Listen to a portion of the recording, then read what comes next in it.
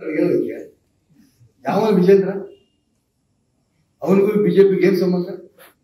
ಅವ್ರ ಅಪ್ಪ ಪಾಪ ಶ್ರಮ ಹಾಕಿದ್ದಾರೆ ಬೆವರು ಸುರಿಸಿದ್ದಾರೆ. ರೈತರ ಪರ ಹೋರಾಟ ಮಾಡಿದ್ದಾರೆ. ಅವ್ರ ಜೊತೆ ನಾನು ಹೋರಾಟ ಮಾಡಿದ್ದೀನಿ. ನನಗೆ ಅವನಿಗೆ ಎಡವು ಕೂಡ ಯಾವನು ಹೋಗಿ ದೆಹಲಿಯಲ್ಲಿ ಆರಾರು ತಿಂಗಳು ಅಪ್ಪ ಮಕ್ಕಳು ಹಠ ಹಿಡಿದು ಅಧ್ಯಕ್ಷ ಮಾಡ್ಕೊಂಡು ಬಂದಿಯಾರಲ್ಲ ಇದೇನ ಒಂದು ಸಾಧನೆ. ಅವನಿಗೆ ಹಿರಿಯರಿಗೆ ಏನ್ ಗೌರವ ಕೊಡಬೇಕು ಮತ್ತೆ ಕಲ್ತ್ಕೊಳ್ಳಿ.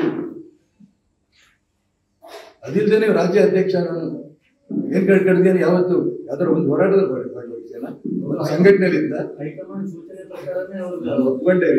ಹೈಕಮಾಂಡ್ ಹತ್ರ ಅಪ್ಪ ಒಬ್ಬ ಮಕ್ಕಳು ಹೋಗಿ ನಾನು ಹೇಳ್ತಾಳ ಈಗ ಕೇಳ್ಕೊಳ್ಳ ಅನೇಕ ವಿಚಾರಗಳು ಹೈಕಮಾಂಡ್ ಗೊತ್ತಿಲ್ವಾ ಇವೆಲ್ಲವೂ ಅವ್ರಿಗೂ ಅರ್ಥ ಮಾಡಿಸೋದ್ರೆ ನಾನು ನಿಂತಿರೋದು. ಏನು ಬರ್ತಾ ಇಲ್ಲ.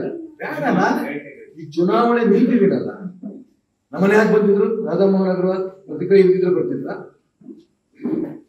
ಅಮಿತ್ ಶಾ ಡೆಲ್ಲಿ ಹಾಕಿದ್ರು ಕರೆದ್ರು ಆದ್ರೆ ಕುಟುಂಬ ರಾಜಕಾರಣ ಅದು ಮುಂದುವರಿತಾನೆ ಇದೆ. ಅವ್ರು ಇದೆ ಅದಕ್ಕೋಸ್ಕರ ನೋಡಿ ಯಾವತ್ತೂ ಕೂಡ ಈ ದೇಶಕ್ಕೆ ಸ್ವತಂತ್ರ ಬರಕ್ಕೆ ಎಷ್ಟು ಜನ ಬಲಿದಾನ ಆಯ್ತು. ಎಷ್ಟು ವರ್ಷ ಆಯ್ತು. ಈ ದೇಶಕ್ಕೆ ಸ್ವತಂತ್ರ ಬಂದಿದ್ದು ಯಾವತ್ತು ಅಂದ್ರೆ ನೀವೆಲ್ಲ ಹೇಳ್ತೀರಿ ಸಾವಿರದ ಒಂಬೈನೂರ ಅರವತ್ತೇಳು ಆಗಸ್ಟ್ ಹದಿನೈದು ಸ್ವತಂತ್ರ ಹೋಗಿದ್ದು ಯಾವತ್ತು ಉತ್ತರ ಕೊಡಿ ನೋಡೋಣ. ಗೊತ್ತಾ ನಿಮಗೆ? ಅಷ್ಟು ವರ್ಷ ಸಾವಿರಾರು ಜನ ಬಲಿದಾನ ಆಯ್ತು. ಹಂಗ ಸ್ವತಂತ್ರ ಬಂತು.